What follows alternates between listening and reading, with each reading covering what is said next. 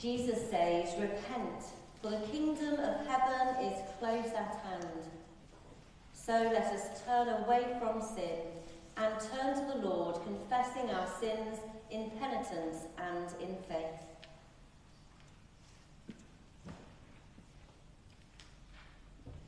Most merciful God, Father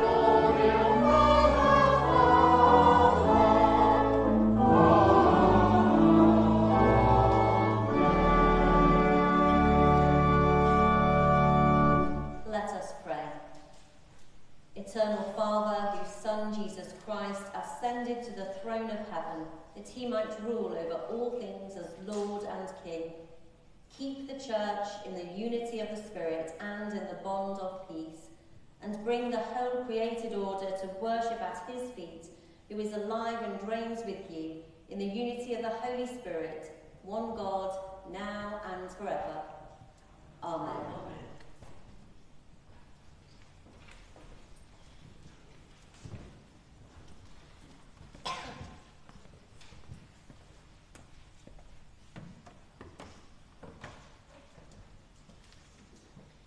Our first reading is a reading from the book of the prophet Jeremiah. Woe to the shepherds who destroy and scatter the sheep of my pasture, says the Lord. Therefore, thus says the Lord, the God of Israel, concerning the shepherds who shepherd my people It is you who have scattered my flock and have driven them away, and you have not attended to them. So I will attend to you for your evil doings. Then I myself will gather the remnants of my flock out of all the lands where I have driven them, and I will bring them back to their fold, and they shall be fruitful and multiply. I will raise up shepherds over them who will shepherd them, and they shall not fear any longer, or be dismayed, nor shall any be missing, says the Lord. The days are surely coming, says the Lord, when I will raise up for David a righteous branch, and he shall reign as king and deal wisely, and shall execute justice and righteousness in the land. In his days Judah will be saved, and Israel will live in safety. And this is the name by which he will be called. The Lord is our righteousness. This is the word of the Lord. Thanks, Thanks be to God. Our psalm this morning is Psalm 46, and the response is The Lord of hosts is with us, the God of Jacob is our stronghold. The Lord of hosts is with us, the God of Jacob is our stronghold. God is our refuge and strength, a very present help in trouble. Therefore we will not fear, though the earth be moved, and though the mountains tremble in the heart of the sea. The Lord of hosts is with us. The God of Jacob is our stronghold. Though the waters rage and swell, and though the mountains quake at the towering seas, there is a river whose streams make glad the city of God, the holy place of the dwelling of the Most High. The Lord of hosts is with us, the God of Jacob is our stronghold. God is in the midst therefore shall she not be removed. God shall help her at the break of day. The nations are in uproar and the kingdoms are shaken, but God utters his voice and the earth shall melt away. The Lord of hosts is with us. The God of Jacob is our stronghold. Come and behold the works of the Lord, what destruction he has wrought upon the earth. He makes wars to cease in all the world. He shatters the bow and snaps the spear and burns the chariots in the fire. Be still and know that I am God. I will be exalted among the nations. I will be exalted in the earth. The Lord of hosts is with us.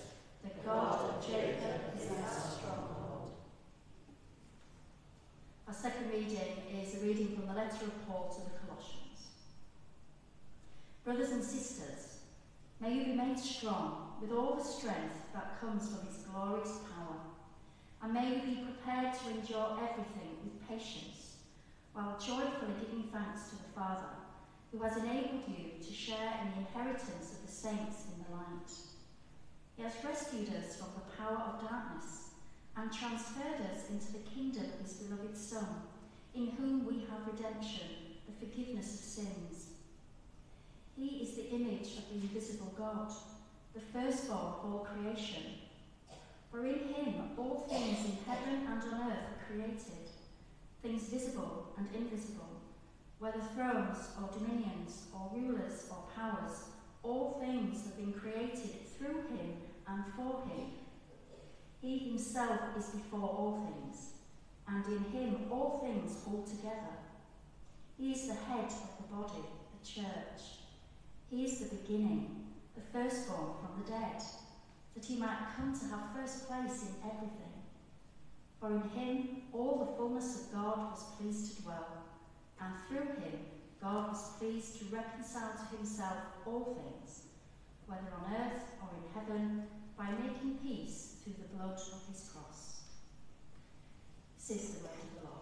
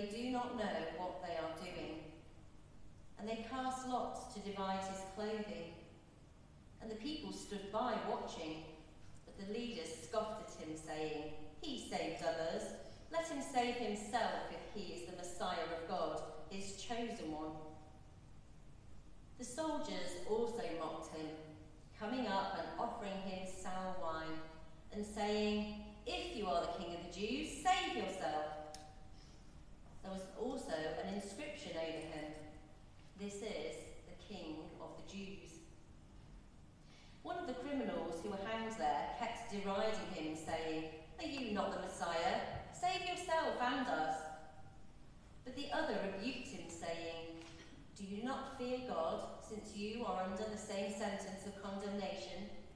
And we indeed have been condemned justly, for we are getting what we deserve for our deeds. But this man has done nothing wrong. Then he said, Jesus, remember me when you come into your kingdom. He replied, Truly I tell you, today you will be with me in paradise. This is the gospel of our Lord. Praise to you, O Christ. May the words of my mouth and the meditations of all our hearts be acceptable in your sight, O God, our strength and our Redeemer. Amen. Well, we have an interesting selection of readings today that really help us to think about what it means for Christ to be king. And we are to have a new king, King Charles, we're all looking forward to a very special day in May next year. All of the pageantry, the pomp, and the first thing I'm sure we all think about is the um, splendour of his garments, the robes, the crown. I took my children to see the crown jewels shortly before the Queen died, and my son went round about five times. He was so astonished by the size of the jewels, the wealth, the splendour. But that's not quite what Christ the King's kingship looks like, is it? So let's just rewind a little bit and go back to Jeremiah. Always a little bit um, anxious, anxiety provoking reading a bit of Jeremiah. And here he is with his condemnation of the shepherds who have not looked after the sheep. And so here we have an image of this new king that is coming, this king that he prophesies, the root of David, Jesus, who will be born and he will be different to those shepherds. He will be a good shepherd. Now, let me tell you something about shepherds. I've spent a long time in the Diocese of Blackburn and spent a lot of uh, my Sunday afternoons and my holidays up in the Lake District. And people often think of leaders as leading from the front and the shepherd at the front and the sheep all following nicely behind. No, no, no, no, no, no. The shepherd stands at the back. The shepherd stands at the back of the sheep to protect the sheep with his crook, to keep away any wild wolves. But also, because what can you see from the back? You can see the sheep that has laid down because it's too weary to go on. You can see the sheep that's seen something tempting at the side of the hill and needs to be brought back on track.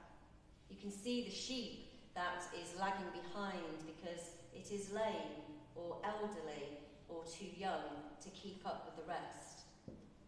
The Good Shepherd isn't somebody up front and centre. The Good Shepherd is the one whose arms are outreached and who gathers everybody in to the right place at the right time. And so, this is the promise that Jeremiah is giving God's people that they will be led by a good shepherd. And in Colossians, we hear how this good shepherd is not going to be the king that was expected, that actually, in the cross, all things hold together. In Jesus Christ. We have heard through the gospel that through him and in him all things hold together. And yet the Jewish people were expecting a king, just as we are going to be celebrating a king next May. They were expecting somebody to be up front, leading with power and might, political, literally kicking out the Romans from their occupied territory. But it's not the king they got, is it? They got Jesus. A most unexpected king.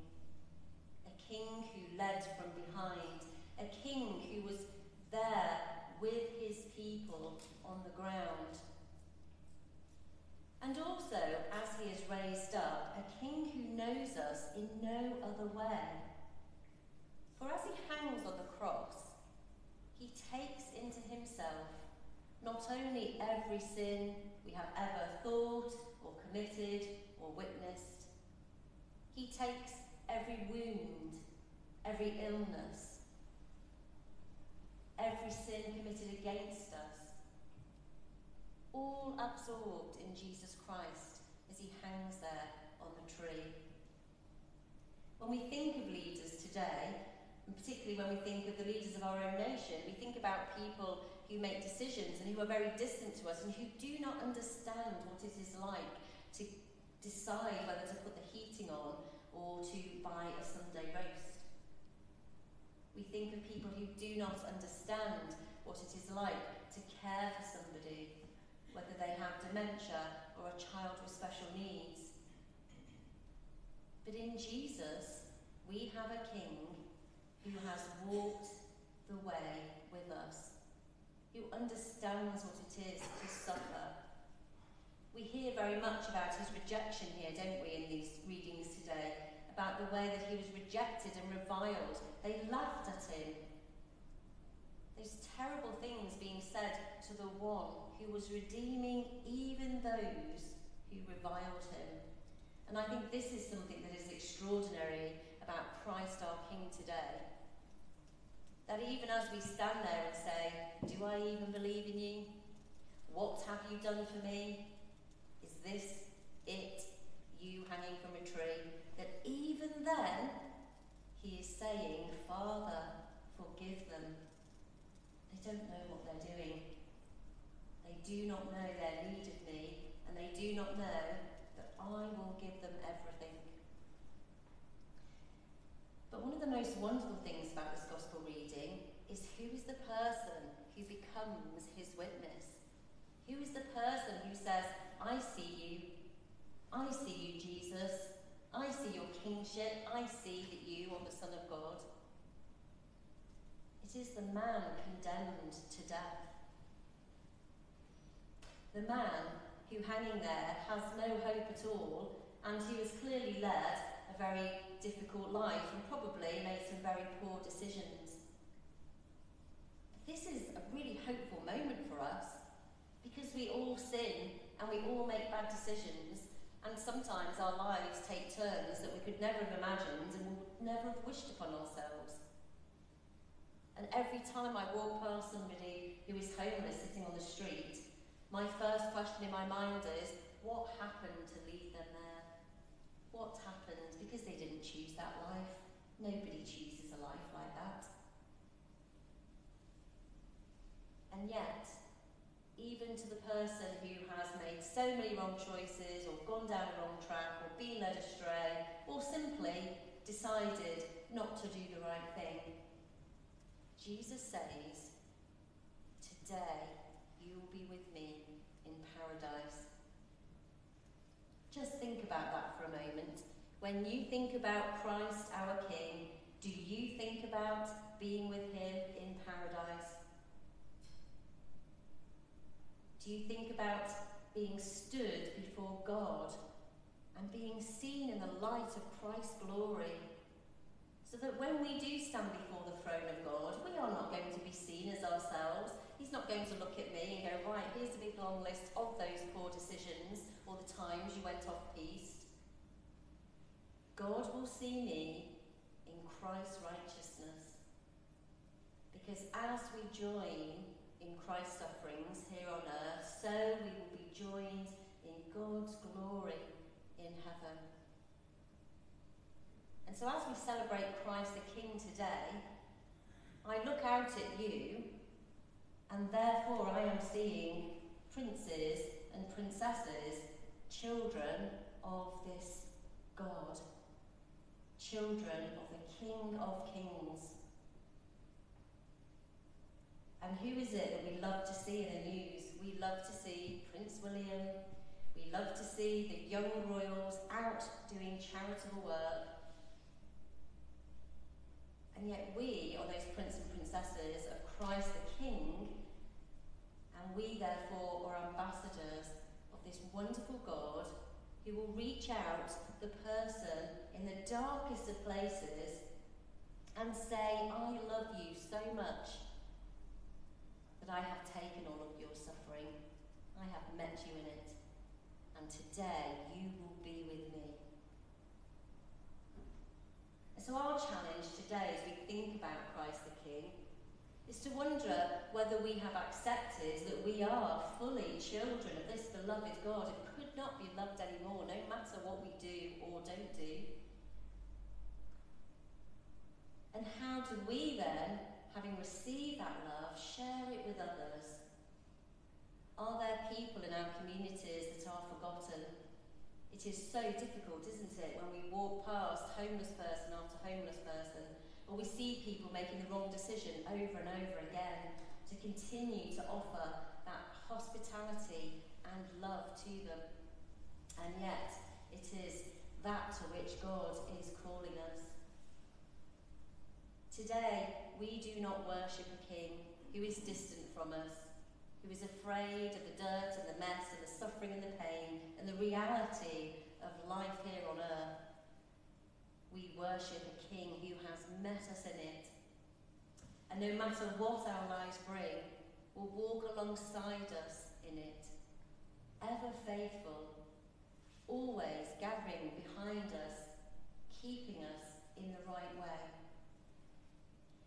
In a moment, we will meet around the altar, we will share in the body and the blood of Christ. It is a moment of great beauty and a moment where this extraordinary exchange happens, just like the exchange between the sinner on his cross and Jesus on his cross. It is an exchange where we come to the Lord and we can give him all of our suffering, all of our pain, all of our sin, all of our mistakes and all of the things we haven't done that we might have. We can give him that and receive forgiveness. But we can also be fed, fed by this king, and therefore become part of his kingdom, spreading and sharing that love. So I'd like you to think now perhaps of maybe somebody you know in your community who does not know that love somebody in your community who may be rejected and reviled, somebody in your community who has known suffering after suffering after suffering through no fault of their own, someone who needs to know that we do not worship a distant God who does not care, but we worship a loving God, a good shepherd king who walks alongside his people, who reaches out and says, No matter how difficult your circumstances, today you will be with me in paradise. Amen.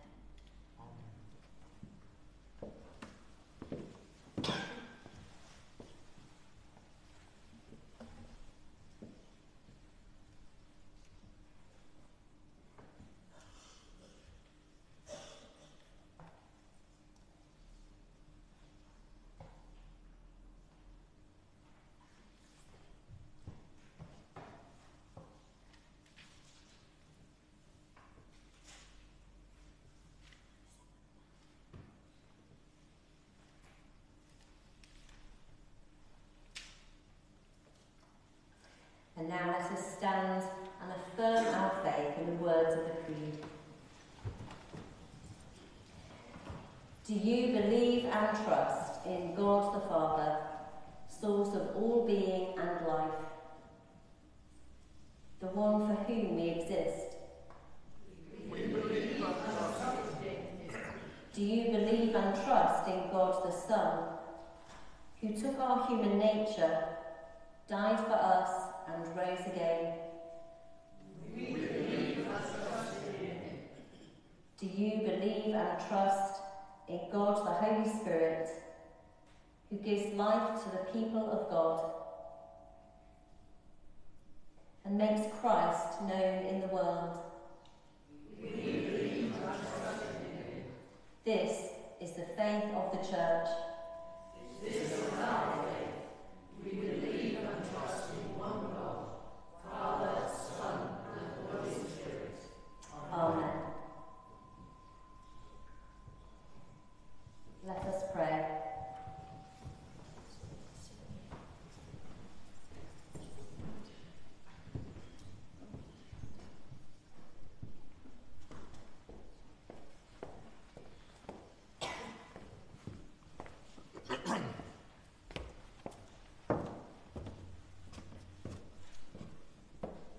In the words of today's psalm, let us be still and know that He is God.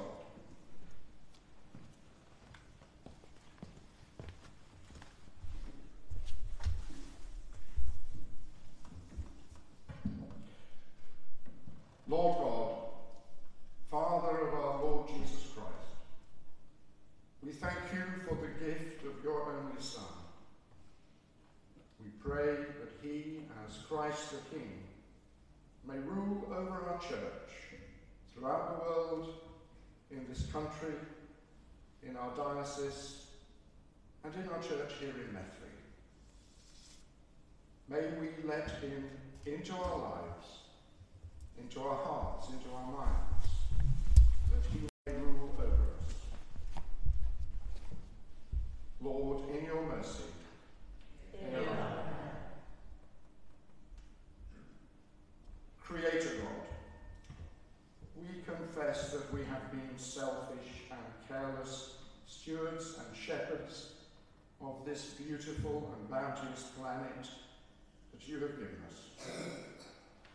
We give thanks today that at the end of the COP27 conference, the hearts and minds of world leaders have been moved so that those countries most at risk from climate change may be recompensed in acts of climate justice.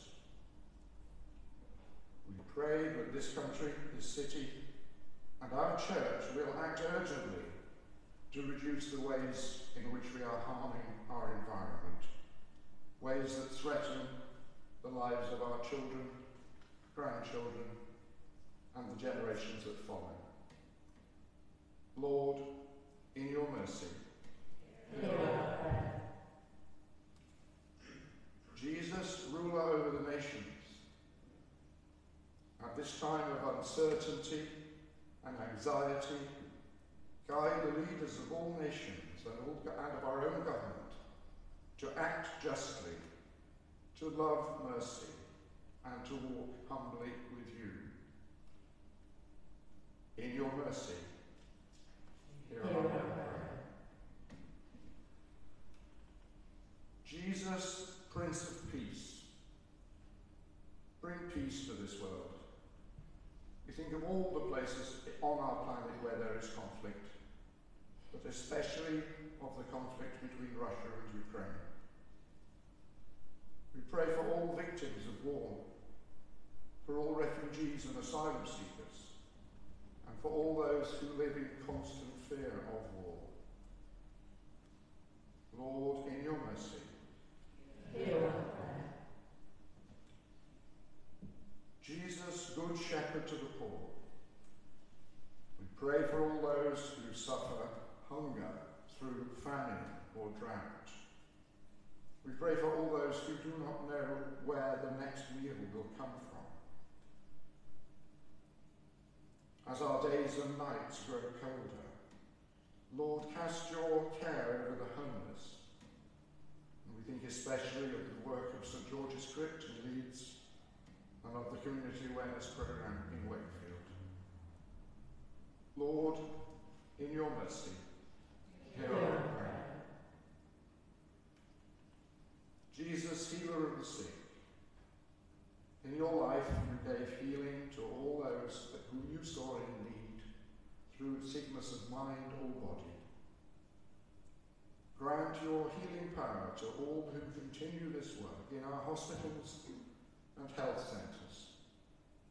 Today we pray especially for those who work in our care homes and those who are carers at home, especially those who are caring for the, those suffering from dementia. And we remember also those who have asked for our prayers in this parish, whose names are on the prayer sheet. Lord, in your mercy, hear our prayer. Jesus, King and Comforter, in the moments before your death on the cross, you forgave the thief beside you and gave him the promise of eternal life. Be with all those who face death and all who mourn the loss of loved ones, thinking especially of a family who have lost a father only this week in our midst. May your love surround them all. Lord, in your mercy, hear our prayer. Merciful Father, accept these prayers for the sake of your Son, our Saviour, Jesus Christ. Amen. Let us stand for the peace. God is love, and those who live in love live in God, and God lives in them. The peace of the Lord be always with you. Let us share a sign of God's peace with one another. I'm not quite sure how you're doing it in this church. Uh, a peaceful way.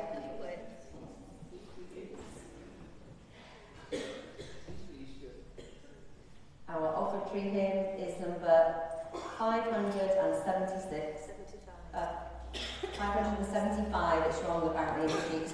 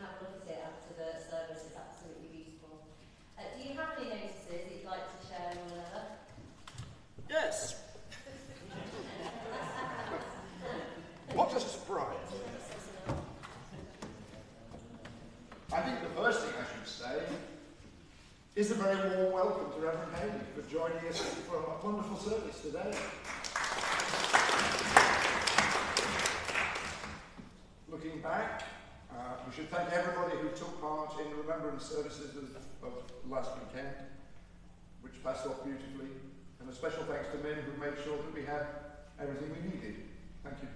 You'll see from the pew sheet that over £500 has been raised across the village, including just over £300 at the coffee morning. So, we got a new total then, or is that a secret donation?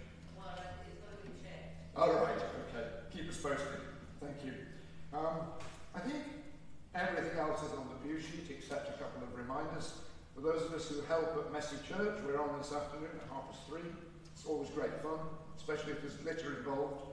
Um, and, and the other thing is, for those of us who are on the church council, we're meeting tomorrow evening, but unusually again, we're meeting in the rectory because the local uh, clueless chorus are in here uh, singing joyfully on the evenings. Um, and have I forgotten anything? Okay, thank you.